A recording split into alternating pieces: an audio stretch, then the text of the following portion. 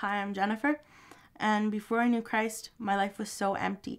I used to cut myself. I wanted to kill myself on more than one occasion. And then one day I just called a crisis line, and the lady on the other end was a Christian. She told me, What do you want to kill yourself for when there's so much more ahead of your life than what it is now?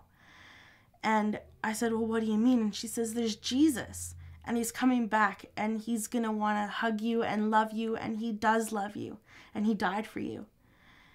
And I said, Really? And I accepted Christ that night.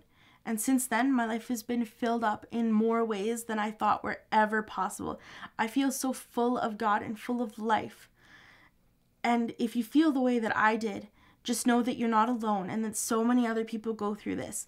And the way to get help is through Jesus. So reach out to somebody who knows God and who can direct you towards God and just teach you about Him. And you'll come to find that He can change you and mold your heart and just he can fix you. And he's not just a band-aid that you rip off later. He fixes you permanently and he puts you back together.